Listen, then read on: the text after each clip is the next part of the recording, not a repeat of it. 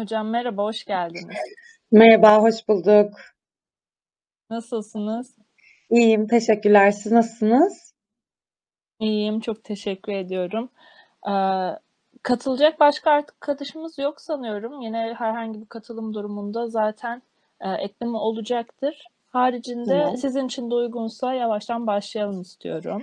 Tamam, Çok başlayabiliriz. Eee, öncesinde arkadaşlar bir ricam var genel olarak. Eee, konuşurken herhangi birisi diğerlerimizin mikrofonu kapalı olursa yankıyı engellemiş oluyoruz. Ona dikkat edebilirsek gayet daha nizamlı bir eee, konferans görüşmesi gerçekleşecektir diye düşünüyorum. Öncesinde e, Kardelen Hoca'yı size tanıtmak istiyorum. İstanbul Üniversitesi Hukuk Fakültesi 2014 mezunu. Eee, İstanbul Barosu'na bağlı olarak serbest avukatlık yapmakta kendisi. Yarlı ve Koç Hukuk ve Arabuluculuk Bürosu'nun kurucu ortağı aynı zamanda. Bahçeşehir Üniversitesi Kamu Hukuku yüksek lisans öğretimi devam ediyor. İstanbul Barosu Kadın Hakları Merkezi üyesi ve yine İstanbul Barosu Çocuk Hakları Merkezi üyesi. Dünya Çocukları Derneği ve Kadın Cinayetlerini Durduracağız Platformu Derneği'nin de gönüllü avukatlığını yapmakta. Tekrar hoş geldiniz hocam bu vesileyle. Ee, hem soru cevap şeklinde ilerlemeyi planlıyoruz. Arkadaşlar da yine ek, ekstra konuşma anında bir sorusu olursa e, mesajlaşma kısmından bana iletebilirlerse ben de size aralarda sonrasında aktarmaya çalışacağım. E, genel olarak baktığımızda dediğim gibi genel bir soruyla başlamak istiyorum. E, kişinin temel isteği ve sorumluluğu doğrultusunda, arzusu e, rotasında bir çalışma hakkı bulunmakta. Ben e, hem sizi de bulmuşken hukuki kısmına değinmek istiyorum. E, bu çalışma durumunun herhangi bir kategorideki insan grubu için işte e, engellilik, cinsiyet farklılığı vesaire e, yasalarda nasıl ilerlediğini merak ediyorum. Bir ayrım veya farklılık, kısıtlama söz konusu mu diye sormak istiyorum. Sağ olun. Şimdi şöyle, aslında temel olarak bizim yasalarımız cinsiyetsiz sayılabilecek yasalar. Bu noktada çok güzel. Yani kadın erkek yasalar tanımlanırken ayrılmıyor. Fakat e, iş kanunundan doğan bir takım farklı değerlendirmeler var. Ama bu kanunlar çok daha öncelerinden yapıldığı için şu an günümüzdeki ihtiyaçları zaman zaman karşılayamıyor olmaları artık normal tabii. Çünkü e, kanunlar daha eskiden geliyor ama günümüzde çok hızlı değişiyor ihtiyaçlar, istekler, sosyal toplumlar. O yüzden kanunlar bazen günümüze göre çok eskide kalabiliyor. Burada biz e, genel bir ayrımcılık göremiyoruz aslında cinsiyet bakımından söyleyeyim. Fakat bir pozitif ayrımcılığı kadınlar için anayasa madde 10'da görüyoruz. Kadın erkek eşittir kavramının aslında anayasaya dayandığını görüyoruz. Ve bu anayasa madde 10'a yanlış hatırlamıyorsam 2010'da koyulan bir değişiklik. Kadınlar için pozitif ayrımcılık aslında sadece kadınlar için de değil. Orada bir kırılgan grup sayılıyor. Yani yaşlılar, engelliler, çocuklar gibi.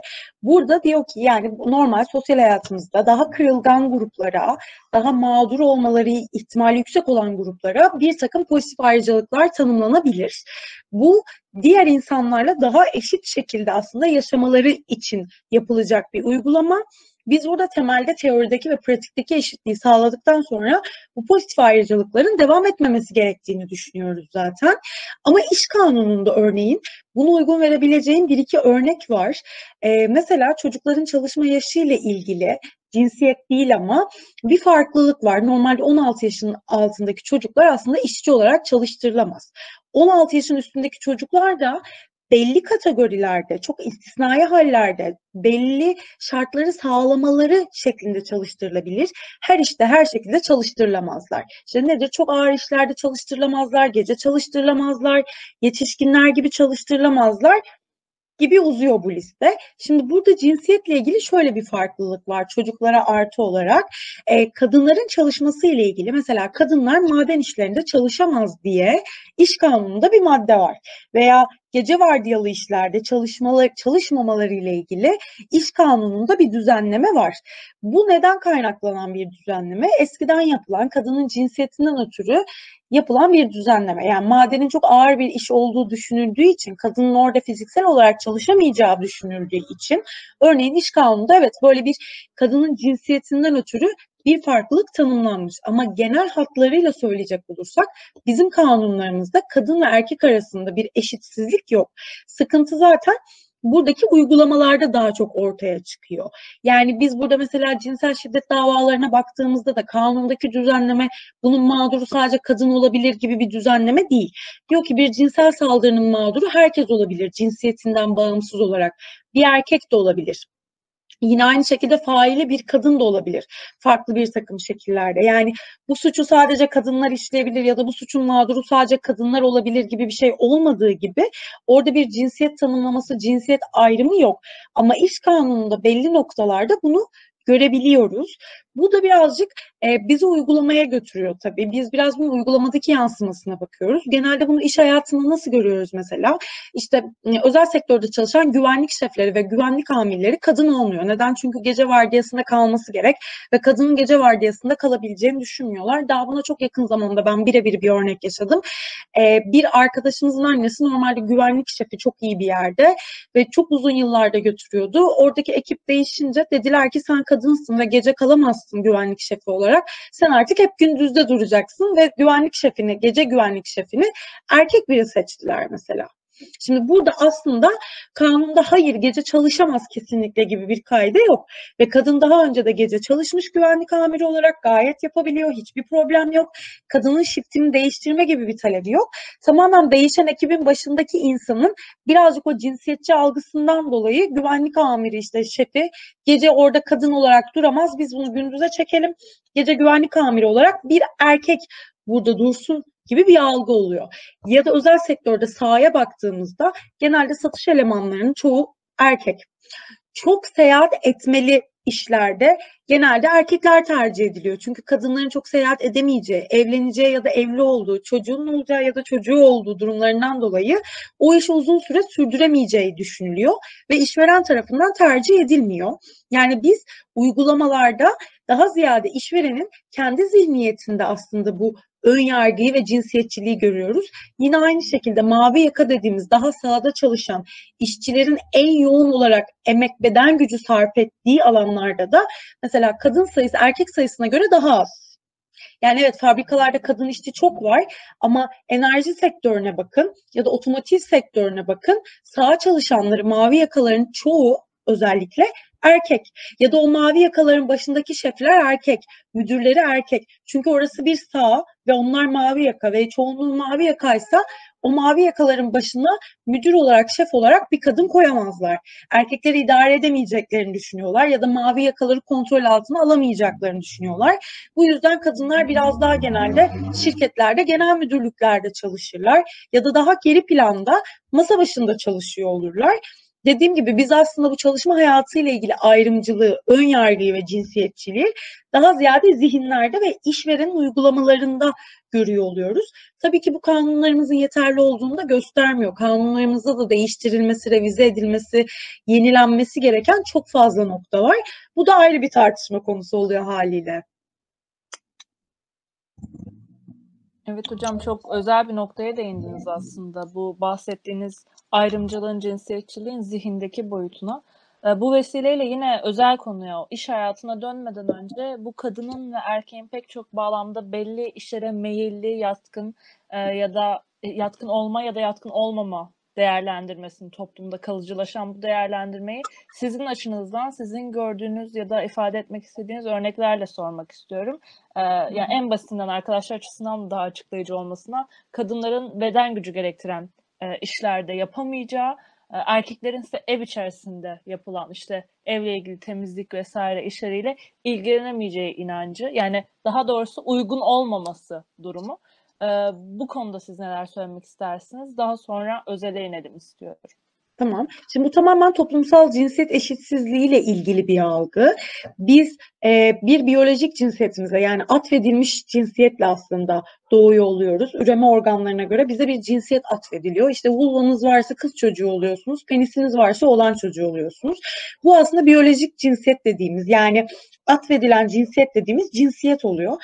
Bir de bunun üstüne yani biyolojik cinsiyetin üstüne toplum tarafından inşa edilen ve sosyal kodlarla geliştirilen o cinsiyete göre davranılması gereken ayrı bir cinsiyet türünü öğreniyoruz. Toplumsal cinsiyeti öğreniyoruz. Yani vulvan varsa ve bir kız çocuğuysan senin toplumda şu şekilde davranman, bu işleri yapman, bunları yapmaman, bu meslekleri seçmen gerekir gibi bir algı oluyor. Aynı şey olan çocukları için de oluyor. Şimdi bu toplumsal cinsiyet eşitsizliği de bize aslında bu algıları getiriyor. Yani ben başlarken mesleğe aslında şunu görüyorum. Kadınlar için belli meslekler var ve kadınlar o meslekleri daha iyi ve daha rahat yapabilir ve daha başarılı olabilirken erkeklerin de daha başarılı olduğu ve daha iyi yaptığı meslekler vardır. O yüzden erkekler şu mesleklerde daha iyidir ve daha başarılıdır. Bunları seçmelidir. Kadınlar da bu meslekleri seçmelidir. Şimdi daha muhafazakar ve dindar bir bakış açısı bunu insanlardaki fıtrat yani yaratılışla açıklıyor aslında. Diyor ki herkesin bir fıtratı var. Kadın olmanın da bir fıtratı var. Erkek olmanın da bir fıtratı var. Ve fıtratın uygun gördüğü, fıtratın uygun olduğu işlerde çalışmak ya da o işleri yapmak bize bahşedilen bir unsur. Ama e, bu dindar bir bakış açısı ve muhafazakar bir açıklama. Şimdi bunun kabul edilmediği ya da kabul edilmeyeceği bir toplumda bizim yine bunu açıklamamızın hiçbir imkanı kalmıyor. Yani ben şunu soruyor oluyorum. Bir kadın polis olabiliyor, asker olabiliyorsa neden genelkurmay başkanı da olmasın? Kadın polis amiri olabiliyorsa neden emniyet müdürü de olmasın? Neden hala çok sayıda e, emniyet müdürümüz kadın değil, çok az sayıda emniyet müdürümüz kadın örneğin baktığınızda. Ya da kadınlar valiliğe kadar yükselebiliyorken neden vali olamıyorlar da sadece biz kaymakam kadın görebiliyoruz. Şu an Türkiye'de bir ya da iki tane kadın vali var mesela. Çünkü ne gibi düşünülüyor? Valilik çok üst bir idari makam. Tamamen o şehrin yönetimiyle ilgili aslında her şey idareten sizin elinizde bir noktada siz aslında devleti temsil ediyorsunuz. Çok ağır bir yükümlülüğünüz var ve bunu bir kadın olarak özellikle çok büyük bir şehirlerde veya metropollerde İstanbul gibi yürütebilmeniz imkansız. Ya da emniyet amirliği için aynı şey. Şimdi bakanlıklara dönüp baktığımızda devlet kademesinde dikkat edin. Daha ziyade kadına atfedilen bakanlıklarda hep bir kadın bakan ya da kadın bürokrat görüyoruz. İşte eskiden kadın bakanlığı vardı kadın bakandı başında. Şimdi Aile Çalışma Sosyal Politikalar Bakanlığı oldu. Genelde hep onun başındaki insan kadın bakanı oluyor. Daha yeni kabineyle e, Gümrük ve Ticaret Bakanı iş hayatından gelen bir kadın. Ama o da çok daha yeni oldu yani bu kabineyle oldu. Ondan önce biz Milli Savunma Bakanlığı'nda, İçişleri Bakanlığı'nda, Dışişleri Bakanlığı'nda kadın görebiliyor muyuz? Ya da Ekonomi Bakanlığı'nda, Hazine'de. Hayır çünkü buralar çok kritik noktalar ve buraları bir kadın yönetemez. Yani bizim kadın olarak örnek alabileceğimiz siyasette Tansu Çiller oldu, o da yıl, yüzyıllar önce. Önay Alpakoy oldu, hiçbirimizin yaşı yetmez. Yanılmıyorsam devlet bakanıydı. Meral Akşener'in İçişleri Bakanlığı yaptığı kısa bir dönem var, ona da hiçbirimizin tarihi yetmiyor. Yani saydığımız zaman çok kilit noktalarda kadın bürokratları bir elin parmağını geçmeyecek bir şekilde görüyoruz. Aynı şey özel sektör için de aslında geçerli. Şimdi bu e, erkeklerin zihniyetinde de böyle aslında kadınların zihniyetinde de böyle. Çünkü hepimiz aynı kodlarla yetiştiriliyoruz. Asa genlerimizden, genlerimizden, toplumdan, kültürden gelen aynı inşayı yaşıyoruz. Ve hepimiz ataerkil bir sistemin içine doğuyoruz. Kadın ya da erkek fark etmez. Zamanla bazılarımız kendini dönüştürebiliyor, değiştirebiliyor, geliştirebiliyor. Ama bazılarımız olduğu yerde kalıyor ve toplumun ona dayattığı değerler ve kültürlerle yoluna devam ediyor. Ve bunları değiştirme gereği duymuyor. O yüzden çok iyi yerlere gelen birçok insana bakın biraz konuşmaları derinleştiğinde kadın hakları ile ilgili, feminizmle ilgili, toplumsal cinsiyetle ilgili, toplumdaki rollerle ilgili hala çok geleneksel düşündüğünü görürsünüz ve inanılmaz şaşırırsınız. Yani böyle konumdaki bir insan nasıl bu kadar geleneksel düşünebilir, nasıl bu kadar geriden geliyor olabilir dersiniz. Çünkü olay şu, sadece kendini eğitim öğretim olarak geliştirmiştir. Sosyal düşünce olarak geliştirmemiştir. O kodlardan çıkamamıştır, kendini aşamamıştır. Genel müdür olmuştur ama hala cinsiyetçi konuşuyordur mesela. Hala kadının iş hayatında çok başarılı olduğunu düşünmüyordur. O yüzden bizim önce aslında bu algıyı değiştirmemiz gerekiyor. Bu da daha ziyade dilde başlayan bir dönüşüm. Bunu kesinlikle söylemem lazım. Hatta Cinsel Şiddetle Mücadele Derneği'nin de çok önemli bir dernektir cinsel şiddet anlamında. E, değişim ve dönüşüm dilde başlar diye bir kampanyası vardı. Şunu söylüyorlardı. Biz dilimizdeki cinsiyetçi sözcüklerden, e, cinsiyetçi düşüncelerden, seksist söylemlerden kurtulmadan düşüncelerimizdeki bu cinsiyetçilikten ve seksistlikten kurtulamayız. Çünkü düşüncelerimiz dilimize yansıdığı için önce konuştuğumuz şeyi değiştirmemiz gerekiyor. İşte bu kadın haklı, erkek haklı, kız gibi erkek gibi, kadın dediğin erkek dediğin. Yani bazen en e, kendini feminist olarak tanımlayan ya da eşitlikçi olarak tanımlayan insanlar bile buna kadınlar da dahil inanılmaz cinsiyetçi konuşabiliyorlar. Çünkü görünürdeki cinsiyetçilik çok barizken altta gizli cinsiyetçiliği hiçbirimiz fark etmiyoruz. Ve hepimizin içinde bir miktar ataerkillik olduğunu hiçbirimiz kabul etmiyoruz. Hayır ben cinsiyetçi değilim derken bile aslında öz eleştiri yapmıyoruz. Olmamamız imkansız. Çünkü cinsiyetçi bir ülke ve topluma doğduk. Daha dindar, daha muhafazakar bir ülkede yaşıyoruz. Daha geleneksel, göreneksel, daha kültürel olarak kendi kodlarına bağlı bir toplumda yaşıyoruz. Daha kapalı bir toplumda yaşıyoruz. Bizim doğduğumuzda feminist doğmamız, anında e, seksist olmamamız ya da anında özgürlükçü olmamız imkansız. Biz çok uzun bir mücadele vermeliyiz kendimizi dahi dönüştürmek için. Buna ben kendimi de katarak söylüyorum. Yani ben de annemin karnından feminist bir avukat olarak doğmadım. Hayatım boyunca kadın haklarını savunmadım. Ben de sistemin içerisine girdikçe kendimdeki yanlışlıkları ve sistemdeki yanlışlıkları fark ettim. Bu bu arada hepimiz için böyle. Bunu söyleyeyim. Burada bir kadın erkek ayrımı yapmıyorum. Bu şuna da geliyor söylem olarak. Kadın kadının mesela kurdudur dediğimizde de aslında çok ataerkil ve seksist bir söylem yapıyoruz. Çünkü bize erkek sistemi şunu diyor. Kadın kadınla her zaman mücadele eder, rekabet halindedir, mücadele etmelidir ki benim sistemimi ele geçirecek vakti olmasın. Halbuki aslında kadın kadının kurdu değil. Kadına bunu yapan yine ataerkil sistem. O ataerkil düşünce kadında da olduğu için, kadın da öyle yetiştiği için kadında değişen bir şey olmuyor ki. Yani kadın doğduk diye otomatik olarak feminist mi oluyoruz? Yok. Birçok kadına bakın hala çok seksiz, cinsiyetçi, eşitlikçi olmayan ve ataerkil düşüncelere sahipler. Çünkü aynı sisteme doğdu ve kendilerini dönüştürebilenler var, dönüştüremeyenler var. O yüzden burada fark etmemiz gereken şey öncelikle toplumsal cinsiyet algısına nasıl bakıyoruz, kendi cinsiyet algımıza nasıl bakıyoruz ve insanları bir sınıflandırma yaparken ki yapmamamız lazım. Neye göre sınıflandırma yapıyoruz? Yani cinsiyetlerine, cinsel yönelimlerine, cinsel beyanlarına, cinsel kimliklerine göre mi bir sınıflandırma yapıyoruz? İşte bu kadın, bu trans, bu eşcinsel, bu queer, bu erkek mi diyoruz? Bu bizim için önemli bir şey mi oluyor? Onunla ilgili bir şeye karar verirken cinsiyetini baz mı alıyoruz? Temelde bir noktaya mı koyuyoruz? Buna dikkat etmemiz lazım. Hediye alırken bile bir erkeğe ne alınır demek çok absürt değil mi? Neden yahu? Yani bir çiçekten hoşlanan erkek de vardır, çiçekten nefret eden kadın da vardır.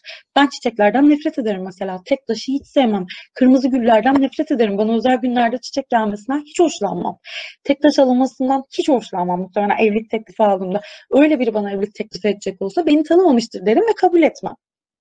Şimdi bu sadece kadınlara atfedilen ya da erkeklere atfedilen şeyler değil. Burada bile cinsiyetçilik yapıyoruz işte ya da çocuklara kıyafet seçerken cinsiyet belirleme partisi yapıyoruz. Niye bizim için bu kadar önemli? Kıyafet seçmek için mi? Oyuncak seçmek için mi? Ama onlara cinsiyetleri biz atfediyoruz. Renklere cinsiyetleri biz veriyoruz. Oyuncaklara cinsiyetleri biz veriyoruz. Lego ile, kazmayla, kürekle bir kız çocuğu da oynayabilir. Evciliği bir oğlan çocuğu da oynayabilir. Bir oğlan çocuğu bebekten de hoşlanabilir. Bu illa o çocuğun eşcinsel bir yönelimin olduğunu göstermez. Velev ki göstersin. Bunda kötü olan, yanlış olan, ayıp olan, günah olan ne olabilir? Heteroseksüel olmak kadar homoseksüel olmak, eşcinsel olmak ya da kendini queer tanımlamak da dünyadaki en doğal şeylerden biri. Biz neden bizim cinsiyet kimliğimiz dışında kalan herkese alt ve ikinci sınıf insan muamelesi yapıyoruz? Önce bunu bir düşünmemiz lazım diye düşünüyorum. Hocam o kadar çok şeyden bahsettiniz ki hangisine ekleme yapsam diye düşünüyorum. Sadece şey çok net aklımda kaldı. Bu bahsettiğiniz e, işte kadınların da cinsiyetçi işte kılıflardan, kıyafetlerden arınamama durumu. Bir kadın işte feminist veya işte cinsiyet eşitliğini savunan bir kadın olduğunu iddia ederken bile işte kendi kimliğini reddedip tamamen işte eril bir yapıya bürünüyor ve bunu sürekli olarak yansıtıyor. Bu bile oldukça hasarlı aslında. Yoz bir şekilde eşitlik kültürünün o, oturmaya çalışması, oturtulmaya çalışmasından başka bir şey gibi gelmiyor bana da. Ee, hocam istismar tanımının hukuki hı hı. bağlamda ele alınışını merak ediyoruz. Bir de sorularla birlikte oradan devam edelim. Ee, şimdi şöyle aslında istismar hukuki olarak direkt kanunda bir tanımı yok. Yani istismar iki nokta üst üste diyemiyoruz. Biz de daha ziyade psikoloji ya da psikiyatri literatüründeki tanımını kullanıyoruz. Ve bunu kullanırken tabii kadına yönelik istismar, hayvana yönelik, çocuğa yönelik hepsi farklı. Ama genel olarak biz istismardan aslında şunu anlamalıyız. Bunu tabii ki bir e, uzman psikolog ya da psikiyatrist daha iyi açıklayabilir. E, hiyerarşik güç dengesi içerisinde kendisini daha güçlü, üst konumda tanımlayan insanın aslında kendisinden daha altta, zayıf ve mağdur konumda olduğunu düşündüğü, canlıya karşı yaptığı her türlü zorlayıcı ve baskın davranış. E, bu bir erkeğin kadına karşı yaptığı da olabilir. Bir kadının bir çocuğa karşı yaptığı da olabilir. Bir kadının bir hayvana karşı uyguladığı güç ve zorbalık da olabilir. Burada bir cinsiyet ayrımına gitmiyoruz. Ama genel olarak neyi görüyoruz? E, istismarın faillerinin çoğunun erkek olduğunu görüyoruz. Neden peki? Yine o e, erk düzeninden gelen güç daha ziyade hem fiziksel olarak hem sosyal olarak hem siyasal olarak şu an dünya üzerinde ve ülkemizde erkeklerde olduğu için o hiyerarşik yapıda şu an dünyada en üstte erkekler olduğu için o gücü, zorlayıcı baskıyı en çok uygulayan faillerin de genel olarak atanmış cinsiyetlerinin erkek olduğunu görüyoruz. İstismarın alt çeşitleri var mı? Var. Tabii biz kadın yönelik istismarı farklı değerlendiriyoruz ama burada bir istismar tanımını kullanırken şeye de dikkat etmek lazım. Şimdi biz mesela e, istismar tanımını hukukta genelde çocuğa yönelik cinsel şiddette kullanırız ve çocuğa yönelik cinsel şiddeti, bedensel temasla ilgili olan cinsel şiddeti çocuğun cinsel istismarı deriz. Ama kadına yönelik ya da başka bir yetişkine yönelik cinsel şiddette cinsel saldırı deriz. Çünkü orada e, yetişkinlerin yani daha doğrusu bir noktada da olsa eşitlerin olduğunu düşünürüz. Bu yüzden istismarda birazcık daha aradığımız şey hem yaş farkı olarak hem konum olarak bir tarafın daha üstte olması, bir tarafın bir tık daha altta olması. İşte ne olabilir? İnsanla hayvan arasında gerçekleşen zorlayıcı eylemler. Yetişkinler, yetişkinlerle çocuklar arasında gerçekleşen zorlayıcı eylemler. Erkeklerin fail olduğu kadınların mağdur olduğu zorlayıcı eylemler. Orada birazcık daha yaş faktörü de işin içine giriyor, güç faktörü de işin içine giriyor.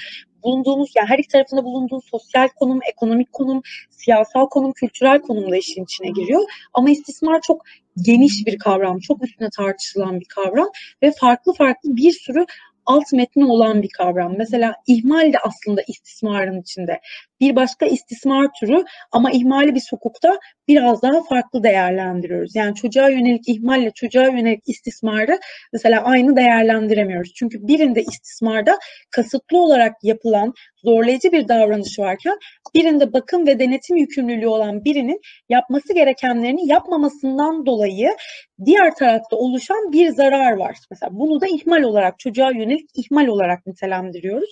Bu yüzden bu kavramları kullanırken ve tartışırken çok dikkat etmemiz lazım. Çünkü dildeki kavramları ne kadar çok karıştırırsak insanların kafası da o kadar çok karışıyor. Ne kastettiğimizi anlamıyorlar, neyi düşünmeleri gerektiğini anlamıyorlar, neye nasıl tepki vermeleri gerektiğini anlamıyorlar. Birazcık daha bu kavramlar üzerine düşünmemiz gerekiyor diye burada bir minik notu bırakayım. Çünkü bu konu çok geniş. Buraya girersek kadın, çocuk, hayvan konu çok uzayıp gider. Evet hocam bahsettiğiniz gibi çok aslında dallanıp budaklanacak bir içerik. Ee, çok da dağıtmadan o halde direkt olarak yine iş hayatına inelim istiyorum. Hı hı. Ee, kadın pek çok alanda bahsettiğiniz gibi ayrımcılığa, işte eşitsizliğe maruz kalıyor ki erkeğin de uğradığı eşitsizlikler olduğu anlamına gelmiyor bu. Özür dilerim, olmadığı anlamına gelmiyor. Ee, kimliğinden dolayı bir ayrımcılığa maruz kalıyor somut ve soyut şekilde. Ben çok genel bir soru sormak istiyorum. Nasıl Hı hı. değinmek istiyorsanız çok merak ediyorum cevabınızı. Ee, kadının maruz kaldığı iş hayatı içerisinde e, psikolojik, fiziksel, ekonomik saldırının az önce de değindiğiniz gibi saldırının temelini e, merak ediyoruz hocam. Şimdi şöyle, iş hayatı tabii ki çok cinsiyetçi bir alan ve kadınların aslında nispeten yeni gir, girmiş sayıldıkları bir alan. Yani şimdi kadınların dünya tarihi üzerinde sanayi devriminden alacak olursak iş hayatına girmeleriyle e, daha çok yeni tarihte girmiş sayılıyoruz. Erkeklerin iş hayatına dahil olması arasında dünya kadar fark var. Şimdi bu birinci bir şey. Yani biz oyuna çok sonradan katıldık. Kurulan bir düzen vardı, işleyen bir sistem vardı, e, çalışan bir ekip vardı dünya genelinde düşünün. Biz sonradan ayrı bir grup olarak dedik ki artık biz de burada varız, biz de bu alanlarda çalışacağız. Birincisi zaten bir noktada kurulu bir düzene çomak sokmuş olduk. Bu zaten erkekleri zorlayan bir şey oldu. Yani kadınların iş hayatında kabul ediliyor olması. Çünkü düşünsenize yani orası bir erkekler kulübü Ve bir takım kadınlar çıkıp geliyordu ki hayır efendim artık biz de çalışıyoruz, biz de buradayız. Şimdi aynı şey bizim için olsaydı, orası bir kadınlar kulübü olsaydı ve erkekler artık biz de çalışma hayatına dahil olacağız deselerdi muhtemelen aynı zorlanmayı biz de yaşar, yaşardık bulmacayı tersine çeviriyor olursak. Birincisi bundan doğan bir zaten kadını yeni yeni kabullenebilme var. Bu süreç hem kadınlar hem erkekler için acılı bir süreç oldu. Çünkü çok uzun bir zaman diliminden bahsediyoruz. Kadının iş hayatında kabul edilebiliyor olması.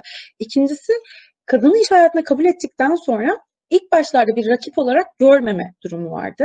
Sonrasında kadınlar başarılı oldukça, öne çıkmaya başladıkça, iş hayatını devam ettirdikçe bu sefer e, erkek camiası için kadınlar bir rakip olmaya başladı iş hayatında.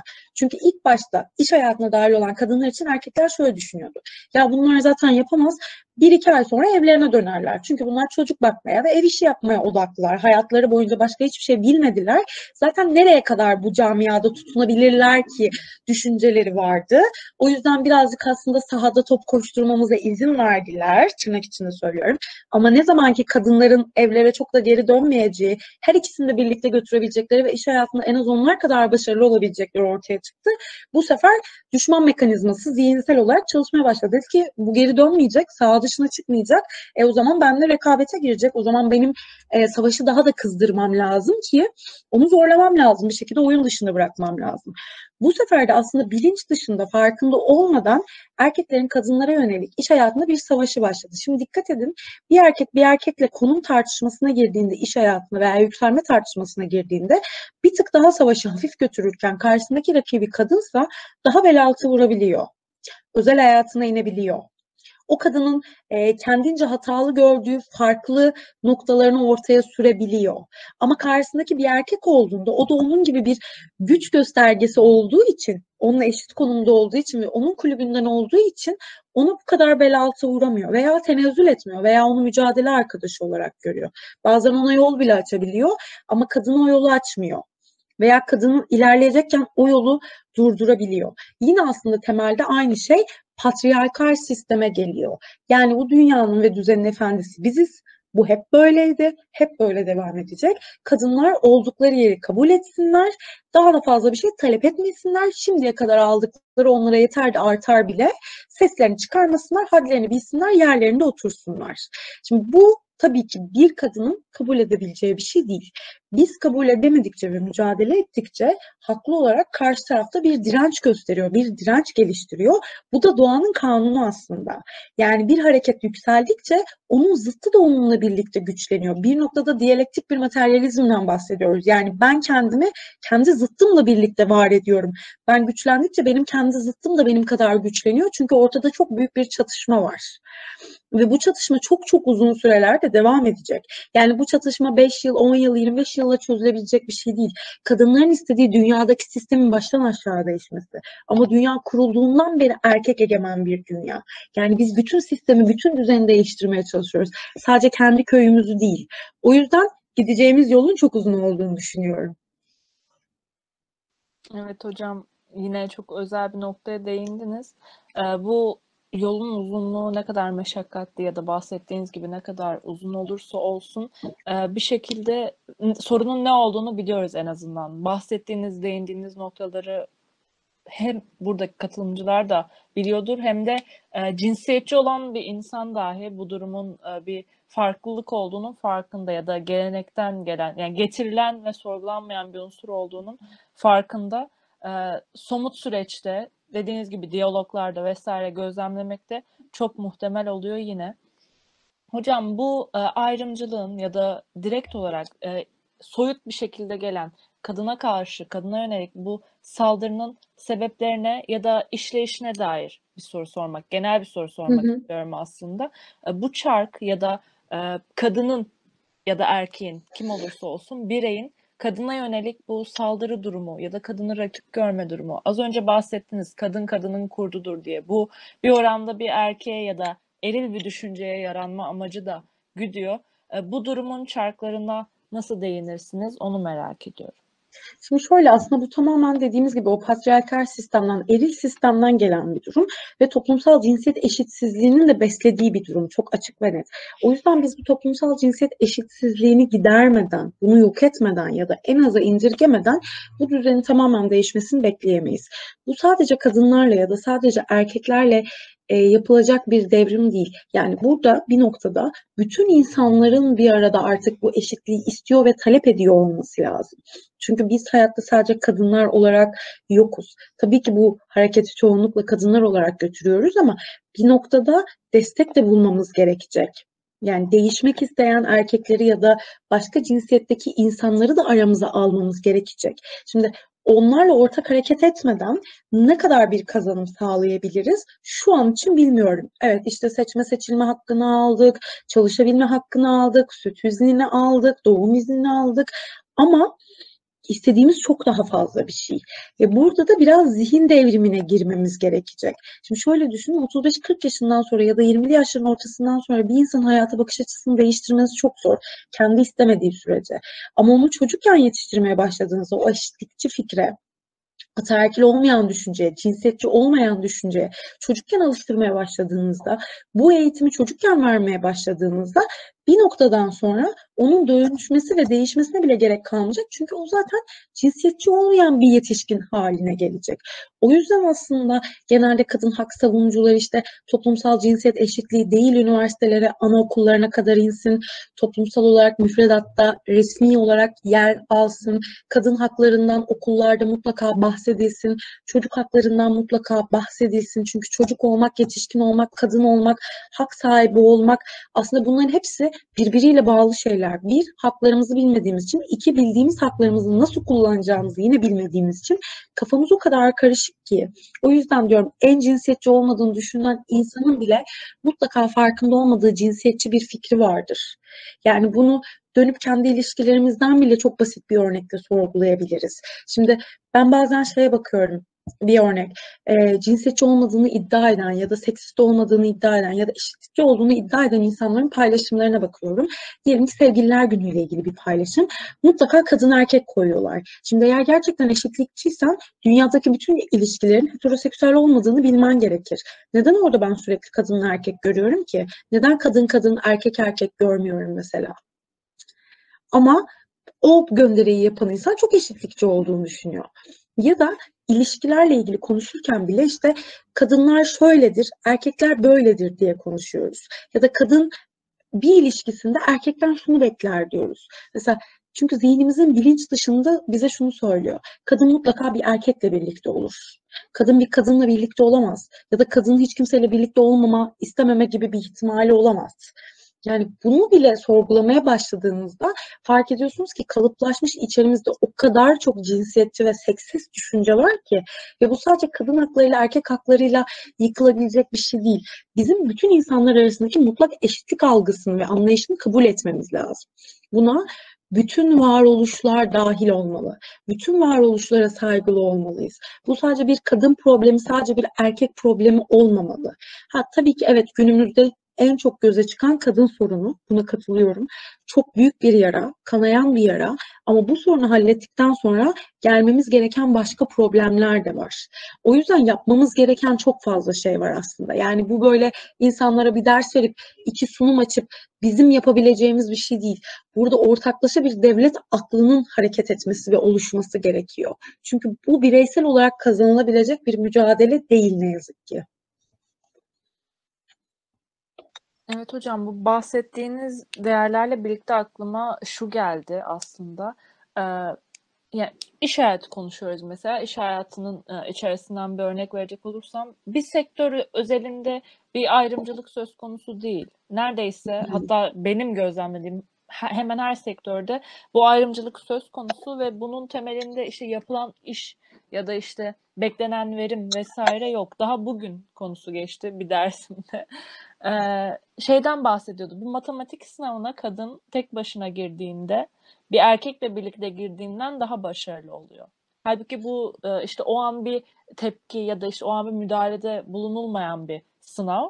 Ancak bir erkekle birlikte girdiğinde toplum baskısıyla alakalı bir içerik muhtemelen.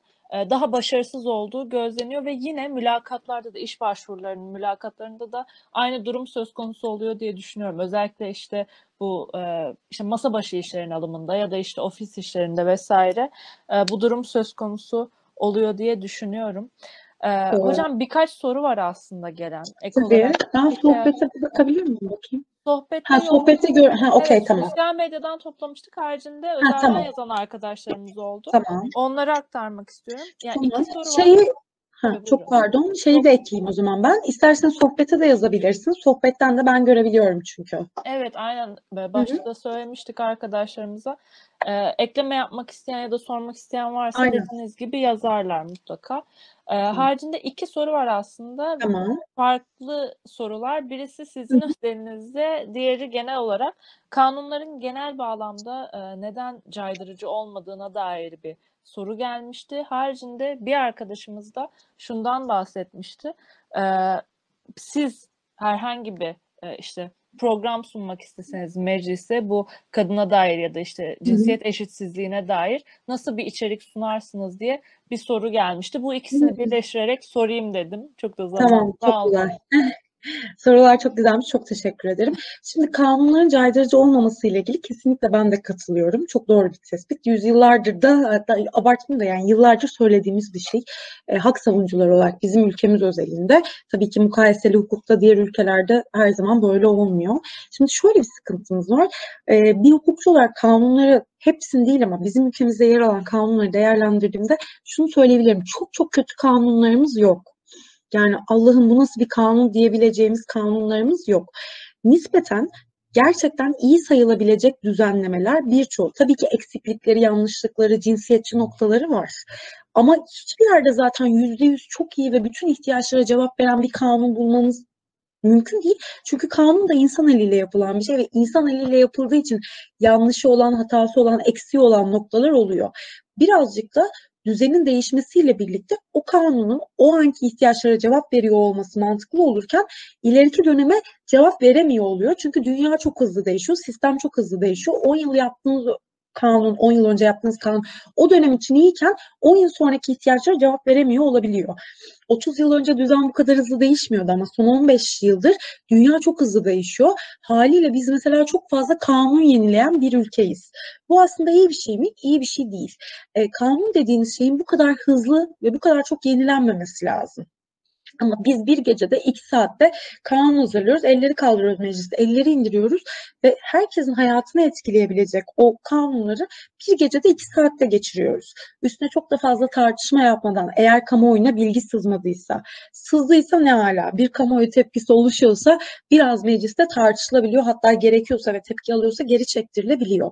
Şimdi bu noktada kanunları yaparken bizim tek öngörümüz, bunu ceza kanunu açısından söylüyorum, caydırıcılık anlamında, sadece cezaları arttırmak olursa, yani bizim tek algımız benim kişiye vereceğim ceza ne kadar yüksek olursa kişinin bir daha suç işlememe oranı da o kadar e, yüksek olur, kişi o kadar ıslah olur algısı olursa bu artık yanlış bir algı olur. Çünkü bu eski bir ceza hukuku algısı. Belki 10 yıl önce ya da 50-60 yıl önce bu doğru olabilirdi. Ama şu anki dönemde ben artık modern ceza hukukunda ve modern hukukta şunu görüyorum. Ben kişiye ne kadar yüksek ceza veriyor olursam olayım artık ıslahı sağlayamıyorum. Rehabilitasyonu sağlayamıyorum. Halbuki ceza hukukunun mantığı aslında rehabilitasyonu, fail üzerindeki rehabilitasyonu ve ıslahı sağlamak. Ve o cezaevine giren insanın bir daha cezaevine dönmemesini sağlamak, topluma karışabilmesini, ıslah olabilmesini sağlamak. Peki ben bunu kanunlarla neden yapamıyorum? Çünkü tek çarenin hukuk olduğunu düşünüyorum. Halbuki şunu görmemiz lazım. Artık tek çare hukuk değil. Bizim multidisipliner çalışıyor olmamız lazım. Yani ben özellikle suç çalışıyorsam devlet olarak suç oranlarım arttıysa, failler aynı suçlardan defalarca içeri giriyorsa, ben kütüphane yapmak yerine veya başka sosyal tesis yapmak yerine habire cezaevi inşa ediyorsam, o cezaevleri doluyorsa oradaki insanlar çıksın yerine yeni gelecekler var diye sürekli infaz sistemini değiştiriyorsam, yatar yıllarını azaltıyorsam insanlar bir an önce dışarı çıksın, tahliye olsun, diğerleri gelsin diye burada şunu düşünüyor olmam lazım. Demek ki sistemde bir eksiklik var. Demek ki ben bunu sadece hukukla veya yasa yaparak çözemiyorum ya da yasa değiştirerek çözemiyorum. O zaman ne yapmam lazım? Benim sosyal bilimlerden destek almam lazım. Yani bir kişi suçu işledikten sonra onu nasıl rehabilite ederim, nasıl ıslah ederim değil de ben toplumdaki bu suç oranını nasıl düşürebilirim? O kişiyi suç işlememeye nasıl yaklaştırabilirim? Suç işlenmeden önce neler yapabilirim? Önleyici, koruyucu tedbirleri nasıl konuşabilirim? Toplumdaki sosyal eksiklikleri nasıl fark edebilirim? İşte bir noktada sosyal devlet olma ya da hukuk devleti olmanın ilkelerinden biri de budur. Yani suç işlendikten sonra herkes bir düzenleme yapar, herkes bir ceza verir, herkes bir yargılama yapar. İyi bir devlet bana kalırsa, adaletli bir sosyal devlet o suçun işlenmeden önceki halini de düşünüp tartışabilen ve ona yönelik mekanizma geliştirebilen devlettir. İşte ileri devlet olmak bu, gelişmiş devlet olmak bu. Şu an mesela İskandinav ülkeleri bunu çalışıyor, Almanya bunu çalışıyor. Çünkü görüyorlar artık cezaevleriyle çözülebilecek bir şey değil bu. Çünkü insanlar cezaevine giriyor çıkıyor ve tekrar giriyor. Diyorlar ki bunun öncesinde bir şey yapmamız lazım. Yani önceden patlayan ve kanayan bir nokta var. Orayı bulmamız lazım. Bir, bu sorun. İkincisi e, bizim infaz sistemimiz biraz sıkıntılı. Şöyle sıkıntılı. Diyelim ki ben 10 yıl hapis cezası verdim hakim olarak. Ama o kişi bizim infaz kanunumuza göre bil fiil eksiksiz ve indirimsiz 10 yıl yatmıyor. Bir kere şartlı tahliye dediğimiz bir şey var. Açık cezaevi var, kapalı cezaevi var, denetimli serbestlik var. Yani o kişi 10 yıl alıyorsa hapis cezası olarak hesaplamalarla, indirimlerle, şartlı tahliyeyle, işte iyi halle, denetimli serbestlikte aslında kapalı cezaevinde kaldığı süre tabii ki suçlarına göre değişiyor. Bazen 5 yıl oluyor, bazen 6 yıl oluyor ve bunu biliyor musunuz mahkumların çoğu biliyor avukatlardan çok daha iyi biliyor. Yatar yıllarını o kadar iyi hesaplıyorlar ki diyor ki avukat hanım benim buradan alacağım ceza en fazla 20 yıl. Onun da diyor 10 yılını yatarım, 5 yılını açık cezaevine geçerim. Ondan sonra şartlı tahliyeye çıkarım. 5 yılda diyor denetimli serbestlikte kalırım dışarıda. Şimdi bu insan ıslah olur mu? Olmaz. Islah nasıl olur? Islah şöyle olur. Bekaryan dediği gibi en iyi ceza bil fiil sonuna kadar çekilen cezadır. En yüksek ceza değildir.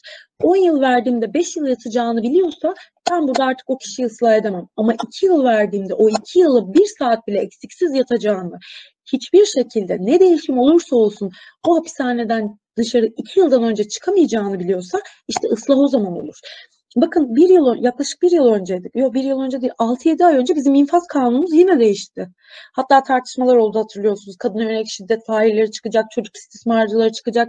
Bir sürü şeye itiraz ettik. Arada bir sürü madde geçirdiler ve gerçekten birçok tehlikeli fail dışarı salındı koronada ve suç oranları yine patladı. Neden patladı? Biz o zaman bağıra bağıra söyledik. Yani bu düzenlemeyi yapmamanız lazım. Bu insanlar çıktıklarında yine içeri geri girecekler. Suç oranları patlayacak çünkü adeta insanlara ödül veriyoruz. Diyoruz ki biz sana bir ceza verdik ama seni burada tutacak yerimiz yok. Sen çık bir üç ay dışarıda takıl. Korona geçsin biz seni geri alırız zaten. Şimdi böyle bir şey olabilir mi? Bunu bilen fail ıslah olur mu? Olmaz. Niye olsun ki? Yani ben cezaevinde müvekkillerimle görüşmeye gidiyorum. Bir şeyler konuşuyoruz. Söylüyor ki yok mu yeni bir infaz kanunu bir değişme? Bir iki yıla tekrar olur bizi de salarlar diyorlar avukat hanım diyor. O kadar alışmışlar ki 2-3 yılda bir infaz sistemin değişip zorunluluktan tahliye olmalarına. İnsanlar da haklı. Bunu bildikleri için suç işlemekte bir beis görmüyorlar. Çünkü diyor ki bugün girerim yarın çıkarım ne olacak ki diyor yani. Burası Türkiye. Bugün yatıyorsun akşam kalkıyorsun her şey değişmiş oluyor. O yüzden bizdeki cezaların caydırıcı olmasının şu anki mantıkla imkanı yok. Evet hocam yazışmalar kısmından birkaç soru Hı-hı. gelmiş. Aa Onlara... şeyi çok Tabii. pardon e, toplumsal cinsiyetle ilgili so şeyle ilgili Evet. pro- projeyle ilgili soruyu Ha, atladım. evet sizin önerinizi merak etmişlerdi. Heh, evet.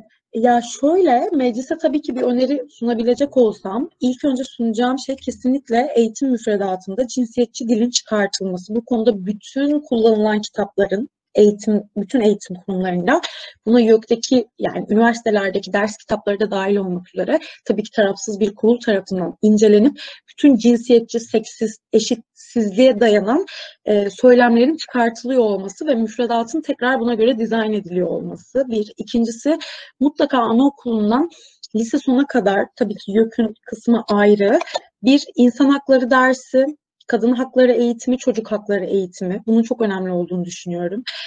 Üçüncüsü toplumsal cinsiyet eğitiminin yine anaokulundan başlayıp lise sona kadar zorunlu olarak verilmesi gerektiğini düşünüyorum ve bunun e, okullardaki öğretmenler tarafından değil, devlet tarafından işte üniversitelerle, akademiyle, STK'larla, kendi uzmanlarıyla çalışarak dışarıdan gelecek tarafsız, bağımsız uzmanlarla birlikte verilmesi. Yani psikologlar, psikiyatrlar, sosyal hizmet görevlileri, hukukçular bunların olması, bunların anlatmaları gerektiğini düşünüyorum. Ya da hekimler alanda çalışan.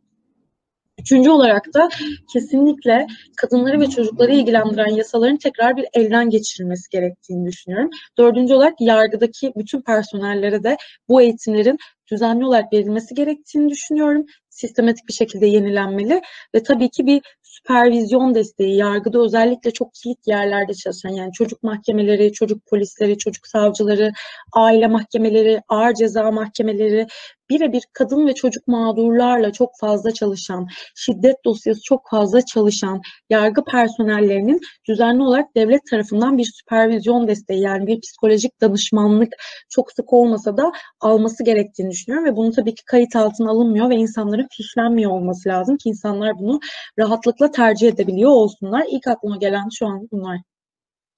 Teşekkürler. Bir de bir ekleme yapmak istiyorum. Bu bahsettiğiniz rehabilitasyon işlemi dahilinde en çok aslında ahlak suçundan hükümlü olanların bir mahcubiyeti olduğundan rehabilite edilmeye o kadar da meyilli olduklarını düşünüyorum. Yani herhangi bir şekilde bilimsel bir desteği yok bu söylediğimin ama bu nasıl desem avam tabirde içeride zaten barındırılmayan suçluların bir şekilde rehabilitasyona daha e, olumlu dönüş sağlayabileceklerini düşünüyorum. Ancak dediğiniz gibi işleyişe bakıldığında ne yazık ki oturmuş bir işleyiş görünmüyor. Az önce bahsettikleriniz dahilinde e, bir soru sorulmuştu zaten vermişsiniz cevabınızı. E, işte toplumsal cinsiyet eşitliğinin hangi hukuki süreçlerle hayata geçebileceğini düşünüyorsunuz diye sormuşlar. Haricinde kadın beyanı esastır ifadesi e, ilkesi özür diliyorum ne hedefle konulmuştur diye bir soru gelmiş. Tamam şimdi şu kadının beyanı esastır diye bir kanun maddesi, bir düzenleme yok onu söyleyeyim. İstanbul Sözleşmesi ile birlikte gelen aslında bizim pratikte kabul ettiğimiz yargılamanın ilkesel bir kısmı bu. Her vakada değil sadece İstanbul Sözleşmesi ve kadın hareketi bize şunu söylüyor. Kadın yönelik şiddet vakalarında genel olarak çabucak ve etkili bir şekilde delil bulunması zor olduğu için kadın sana şiddet gördüğünü beyan ederek başvurduğunda sen bir yetkiliysen kadının beyanını esas olarak alarak etkin soruşturmanı başlatacaksın. Hızlıca olayı soruşturacaksın. Lehe aleyhe bütün delilleri toplayacaksın. Kadına ikinci mağduriyet yaratmayacaksın. Mutlaka bir sosyal hizmet desteği alacaksın. Ve kovuşturma gerekiyorsa kovuşturma aşamasına geçeceksin. Gerekmiyorsa da bunu gerekçesiyle delillendireceksin. Burada da şunu gözden kaçırmayacaksın. Bu tür şiddet vakalarında kadınların sana gelmesi çok zor olduğu için, çok uzun yıllar sonra sana gelebildikleri için güçlenip kendilerinde cesaret bulduktan sonra veya bilinçsiz olmalarından dolayı varsa elindeki delilleri kaybedebildikleri için ya da şiddette dediğim gibi her zaman delil bulmak kolay olmadığı için bazı noktalarda mağdurun beyanı eğer kendi içinde tutarlıysa, istikrarlıysa, mağdurun iftira atmak için geçerli bir sebebi yoksa, karşı tarafla bir husumeti yoksa, yakın bir zamanda bir şikayete geldiyse, daha önce aynı konuyla ilgili başvuruları olduysa o zaman elinde başkaca somut delil olmasa bile mağdur beyanında kanunen bir delil olduğu için bu delile dayanarak dava açabilirsin veya dosyada hüküm kurabilirsin. Ama bu demek değil ki bir kadın geldi şiddet görüyorum dedi karşı tarafı hemen ifadeye aldık tutukladık mahkumiyet verdik süreci bitirdik. Böyle bir şey yok. Bu zaten usule aykırı. Bu niyeyse toplumda yanlış anlatılıyor ve yanlış aksettiriliyor. Bunu söyleyeyim bir. İkincisi hakim savcılar zaten bu ülkeyi hiç dikkate almıyorlar. Gerçekten hiç almıyorlar. Yani kadınlar ifade vermeye gittiğinde bir kere sordukları sorularla ikinci travma yaratıyorlar. Kadınları utandırıyorlar. Kadınları yargılıyorlar cinsiyetçi bir şekilde. Ve önemsemiyorlar. Yani kadın ben tehdit ediliyorum mu diyor, hakarete uğruyorum mu diyor, can güvenliğim yok mu diyor, cinsel şiddete uğradım mı diyor. Ona normal bir dosya gibi bakıyor. İşte o yüzden de kadınlar sürekli şikayete gidip en sonunda öldürülme aşamasına geliyorlar. Sonra haberlere bir dönüp bakıyoruz ki kadın 9 kere şikayet etmiş. 9'undan da bir şey çıkmamış. 10.ya şikayet edecek vakti olmamış. Adam onu öldürmüş zaten sokak ortasında. Yani kadının beyanı esastır ilkesi geçerli olsaydı dediğim şekilde biz bu kadar çok kadına yönelik şiddet vakası zaten görüyor olmazdık. Yargıda sistem gayet iyi işliyor olurdu ve failler de cezasız kalmazdı.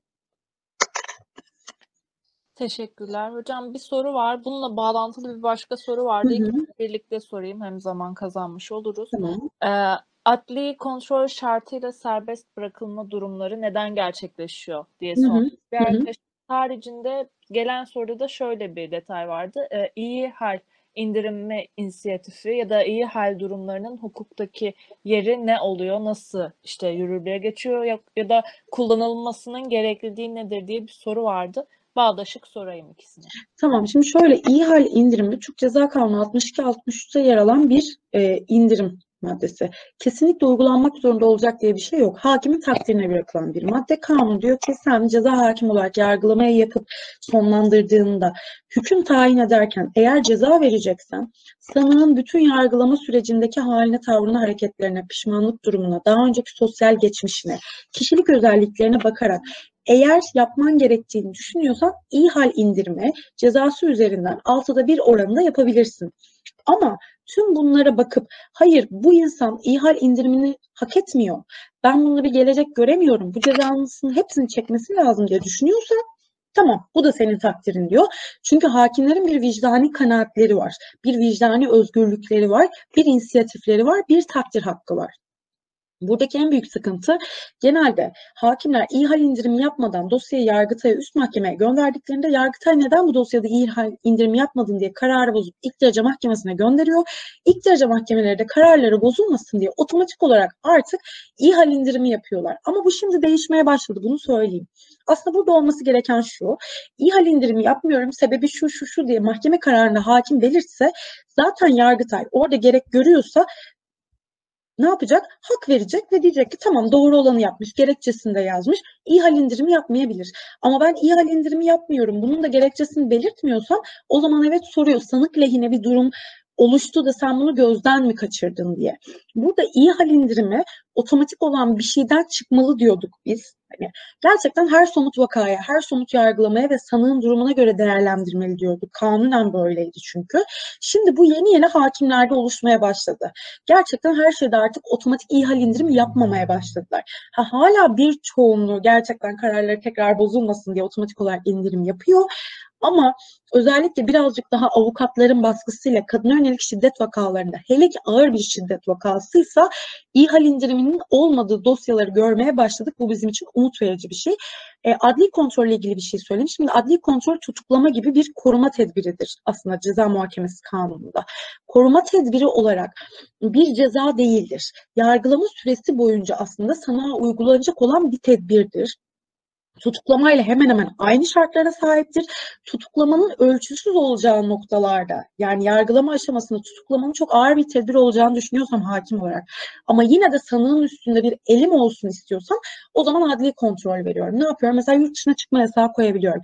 Belli bir kefalet güvence bedeli ödemesini isteyebiliyorum. E, belli bir yerden ayrılmamasını isteyebiliyorum. Elektronik kelepçe taktırabiliyorum. İmza yükümlülüğü getirebiliyorum. İşte her hafta en yakın karakola gidip vereceksin diye. Aslında bir noktada birçok vakayı kendi özelinde değerlendirmek lazım. Biz hep şunu söylüyoruz. Tutuklama en ağır koruma tedbiridir ve istisnai kullanılması gereken bir koruma tedbiridir. Tutuklama bir ceza değildir. Çünkü insan özgürlüğüne dayanan en ağır yaptırımdır. O yüzden tutuklama olmayan yerlerde adli kontrol kullanmak, sanıklar ya da şüpheliler üzerinde en mantık, en mantıklısı adli kontrol bu yüzden denetimsiz olan bir şey değil. Bunu söyleyeyim. Somut vakada gerektiriyorsa tutuklama yerine hakimlerin adli kontrol vermesi çoğu noktada doğru oluyor zaten. Teşekkürler hocam. Son olarak bir soru daha var. Ee, hı. Sosyal medyada bahsedilen ve aslında sık sık da duyduğumuz, benim de denk geldiğim bir maaş farkı mevzusu oluyor Hı hı. işlerde. İşte kadına ve erkeğe ödenen ücretin farklılığına dair. Eee, bunun kanunda bir yeri var mı? Yani buna karşı kanunda bir, eee, yaptırım var mı yoksa da olması gerekmez mi diye sormuşlar son olarak. Şimdi şöyle, evet bu sosyal medyadaki olay doğru. Bu İsviçre'de bile hala tartışılan bir şey. Dünyada ne yazık ki kadınlar erkeklerle aynı konumda olmalarına rağmen birçok sektörde eşit maaşı almıyorlar. Eşit iş yapıyor olmalarına rağmen bu OECD verileri yani. Bu dünyanın çoğunluğunda böyle sadece bizde değil. Kanunda, iş kanununda bizim bununla ilgili, buna özel olmamakla birlikte bir ayrımcılık yasağı maddemiz var. İş kanunu madde 5. Diyor ki sen kimseyi, hiçbir personeline, din, işte cinsiyet, siyasi görüş, felsefe, felsefi inançla ilgili bir ayrımcılık uğra, e, ayrımcılık yapamazsın ve bu ayrımcılığı yapıyorsan da personel seninle ilgili bu başvuruda bulunup tazminat talep edebilir. Şimdi bazı noktalarda biz eşit eşit ücret olmamasını bu maddeye sokabiliyoruz. Diyoruz ki bizim müvekkilimiz bir kadın e, bu personelle aynı niteliklere sahip, aynı işi yapıyor, aynı verimi sağlıyor. Fakat öğrendiğimiz bir şekilde bu personele, erkek olan personele bu maaş verilirken bu kadına bu maaş veriliyor. İşte diyoruz burada bir ayrımcılık var. Sadece cinsiyetinden ötürü. Gerçekten somut vakada öyleyse ve iş kanunu madde 5'e dayanıyoruz. Diyoruz ki kadına cinsiyetinden ötürü iş yerinde bir ayrımcılık yapıyor, yapılıyor ve eşit maaş verilmiyor diyoruz. Bunu kanıtlayabilirsek bu arada e, tazminatı alıyoruz. Bunu söyleyeyim. Ama onun dışında iş, iş kanununda kadın ve erkek eşit ücret alır gibi bir şey yok. Bu yüzden ayrımcılık yasağı maddesi iş kanundaki madde 5 gayet mantıklı bir düzenleme. Çünkü tek tek her şeyle ilgili biz kanunları düzenleyemeyiz. Kanunlar o kadar ince ve ayrıntılı detaylı olamaz. O yüzden orada genel olarak bir ayrımcılık yasağı var. Oraya zaten cinsiyetten dolayı ayrımcılık da dahil edilmiş olduğu için o düzenleme gerektiğinde kullanılırsa ve ispat da edilebilirse bu ayrımcılık yapıldığı davacının e, vekili tarafından buna dayalı olarak tazminat iş mahkemelerine veriliyor. Hocam çok teşekkür ederiz. Ee, ek olarak bir soru yok sanıyorum. Tekrar son kez sorayım katılımcılara. Eğer varsa ekleyebilirlerse. Ne, son bir soru daha gelmiş sanıyorum. Ekleme gelmiş. Medyadan Hı-hı. görebildiğimiz kadarıyla kadına şiddet vakalarında adalet çok geç tecelli ediyor ya da edemiyor. Bu yalnızca bu konuda mı böyle yoksa medya özellikle bu konuyu mu ekrana sunuyor? E, bu sadece bu konuda değil, genel olarak bütün yargı sistemi şu an çökmüş bir durumda. Dosya yoğunluğu çok fazla, personel az, pandemi geldi, çalışma saatleri kısaldı, e, personeller nitelikli değil gibi gibi. Ama kadın yönelik şiddet vakalarında yargının hala çoğunluğun erkek olduğu için çok önemsenmediğini daha da fazla görüyoruz. Ne yazık ki birçok dosya daha hızlı ilerlerken kadın yönelik şiddet vakalarında biz savcıların, hakimlerin daha ağır hareket ettiğini, daha az önemsediğini görebiliyoruz. Bu anlamda bizim yargı ile ilgili genel bir problemimiz var aslında. Yargı sisteminin baştan aşağı değişmesi lazım dediğim gibi çökmüş durumda olduğu için bu sadece kadınların yaşadığı bir problem değil, e, mağdur olan ve hak arama mekanizmasına başvuran herkesin yaşadığı bir problem uzun yargılama süreleri. Çünkü uzun yargılama süresi demek mağdurun ikinci kere mağdur olması demek zaten. Yani hak almanın mantığı en kısa sürede ve en doğru şekilde o aslında hakka ulaşmaktır. Ben alacağım parayı ya da yaşayacağım manevi tatmini 5 yıl sonra yaşarsam bunun benim için artık hiçbir anlamı kalmayabilir. Ya da o parayı 5 yıl sonra alırsam onun hiçbir değeri olmayabilir. Mantık olarak bu süreleri kızaltmamız lazım. Şimdi bununla ilgili çalışmalar yapılıyor ama bakalım. Teşekkür ederiz hocam. Ekleme soru yok sanıyorum ki e, şu an. Bir şey söyleyebilir miyim? Tabii ki. Nereden? Evet. Evet. Buyurun. Ee, ben e, sizin kulübünüze üye değilim ama dışarıdan katılıyorum. Tabii Ee, evet. sosyal medyadan geldim. Hı hı, hoş geldin. Bağımsız. Yani öyle diyebilirim kendim için. Hoş geldin. Benim e, söylemek istediğim biz böyle önemli konuları yani oturup bir şekilde tartışamıyoruz saygı, sevgi çerçevesinde.